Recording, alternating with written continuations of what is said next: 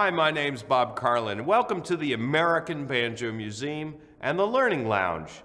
Today, I'm going to be talking about this instrument and the minstrel style of playing the banjo.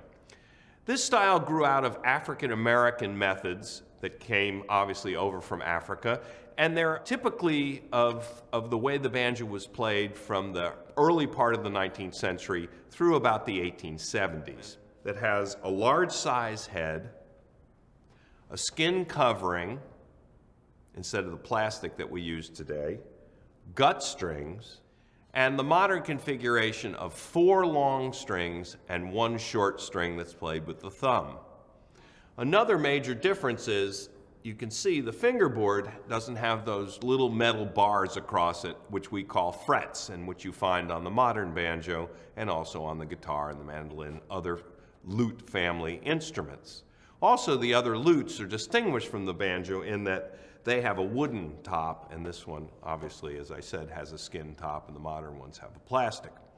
The notes to which this is tuned are D for the short fifth, G, D, F sharp, and A. Although this down-picking style, and I mean you actually strike down on the strings with the nails of your right hand,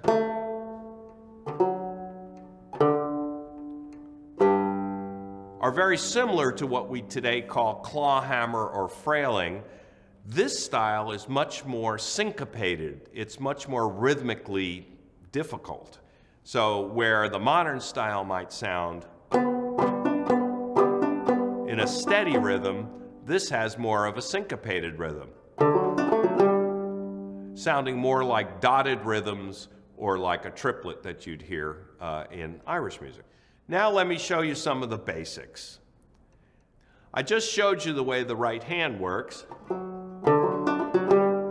And the left hand works in conjunction with it with lots of pull-offs in the left hand of unstruck strings and also just holding down the various chords.